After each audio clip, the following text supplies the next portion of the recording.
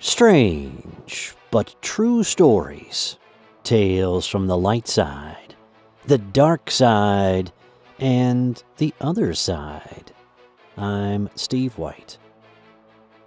In the deep, thick woods of Tennessee, a man like hairy creature with red, piercing eyes, an ear splitting scream, and an awful stench has been reported for more than 140 years long thought to be legend passed down from generation to generation. There are some that swear they've come face to face with the creature known as the Tennessee Wildman. Tennessee Wildman stories have been around for quite a long time, first seen and reported in the second half of the 19th century in West Tennessee. The March 5, 1871 edition of the Hagerstown Mail newspaper issued a warning about the strange creature after a sighting in McNairy County, which borders Mississippi. In 1878, the Knoxville Daily Tribune reported that O.G. Broiler, a circus showman, claimed to have captured the beast and put him on display in a cage where paying customers could see this creature face to face. People who saw the creature described it as part animal and part man, black hair with red eyes. Other reports describe the wild man as having either dark gray hair or dark ginger hair between six and nine feet tall. A disturbing vocalization has been attributed to it and has frightened those who have heard it. There is also an accompanying putrid smell that's reminiscent of the skunk ape.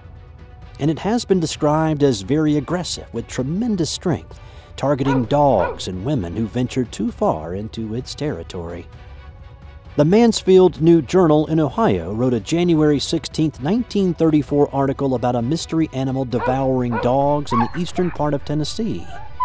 A 1946 edition of the Carthage, Tennessee newspaper told of a creature that roared like a lion and was preying on livestock in the area. The television show Monsters and Mysteries in America detailed two eyewitness encounters of the Tennessee Wild Man on one of its episodes. In 1997, cousins Rob Phillips and Randy Sparks were on a night hike to Bee Cliffs, near the town of Elizabethton in the eastern part of the state. The Bee Cliffs are part of the Watauga Cliffs, a popular recreation spot for people in the East Tennessee area.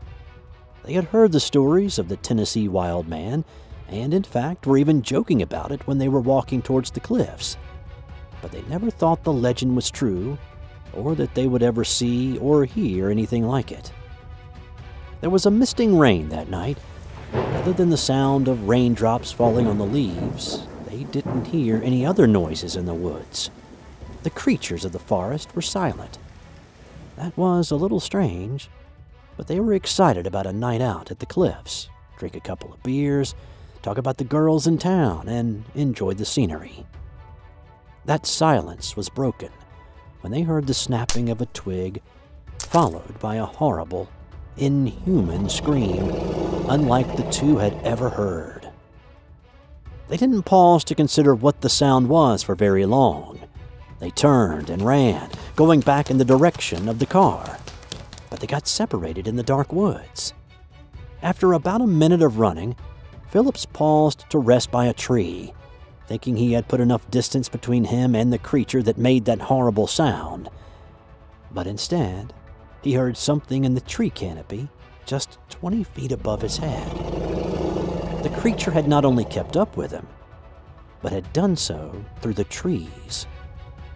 When Phillips looked up, he saw the hairy creature with the glowing red eyes from all the stories he had heard, standing on the branch right above him. Phillips took off again, with the creature in hot pursuit. He made it back to the car with his cousin Randy waiting for him. They jumped in the car, cranked it up, and turned the lights on, only to see the wild man standing right in front of their car. He moved around to the passenger side and looked in on Randy. He said the creature was covered with dark hair and could easily have bust out the windows, but for whatever reason, didn't. The two cousins didn't wait around to find out if he would, though. Rob hit the accelerator and drove as fast as he could back home. And then, the full realization of coming face to face with the Tennessee wild man was no longer the stuff of legend, but as real as anything he had ever seen. Later, Phillips's account corresponded with the initial tales of the Tennessee Wild Man. He described it as stout, about nine feet tall, with red, beady eyes, a set of claws, a horrible, pervasive stink that Phillips compared to the stench of a dead animal, and an ear piercing scream. In December 1981, brothers Mark Epperson and Dr. Frank Epperson had their own scary encounter with the Tennessee Wild Man. They were in Rockwood, Tennessee, which is about 50 miles west of Knoxville, at a mountain cabin for a holiday family dinner. Like a lot of people, they too had heard the stories of the Tennessee Wild Man. Their mother had warned them numerous times about the danger of wandering too deep into the woods.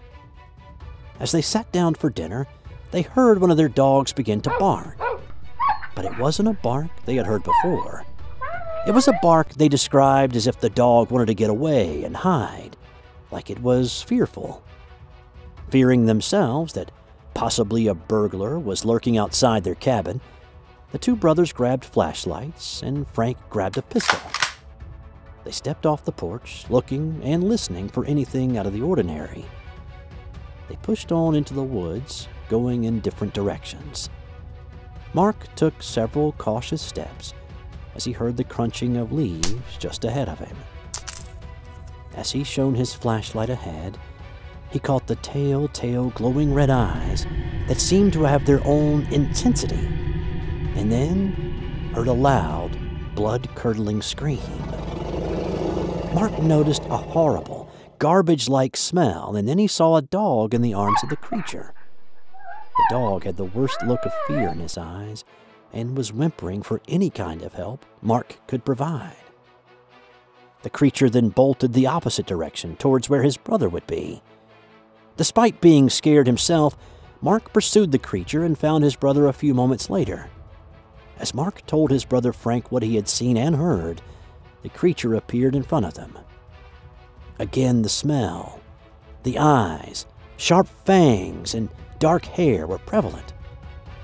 Frozen in place and trying to figure out what they were indeed looking at and what to do, Frank managed to raise his gun. He thought to himself, shoot or don't shoot, now was the time. The creature then made a lunge at the two men, and Frank fired two shots from his gun. The creature stopped, took a few steps back, and then, according to Frank, let out a scream that sounded like a siren on an ambulance. Then, the creature stepped back into the woods and moved swiftly away. The two brothers felt extremely fortunate to have escaped unharmed. They fled back to the cabin. Mark grabbed his brother Frank by the shoulders and said, That was the Tennessee Wild Man. Frank then understood that all the stories he had heard about this legendary creature may have been strange, but true. This has been another edition of Strange But True Stories. Do you have a strange story that you would like to share with us? Send us an email to strangebutTrueStories2 at gmail.com. Let us know what you thought of this story in the comments below. Subscribe if you haven't already, and click the bell in the upper right corner to sign up for notifications of when the next SBT video drops to YouTube. Thanks for watching. I'm Steve White. Until next time.